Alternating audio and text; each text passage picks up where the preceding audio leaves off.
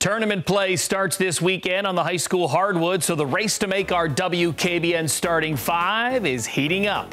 Here's a few of the contenders that caught our attention last week. We begin at Wilmington, where Greyhounds junior Lia Krarup stole the show in our WKBN Game of the Week on Monday. She poured in a staggering 25 points against Grove City and helped the Hounds regain first place in the Region 4 standings.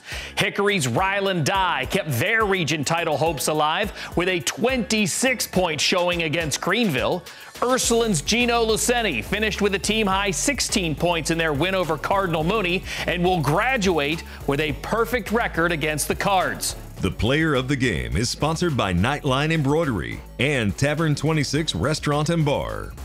And finally, our player of the game from Friday night was once again Canfield's Dom Cruz. The Card senior finished with a team high 13 points in their win over rival Poland in our WKBN Game of the Week.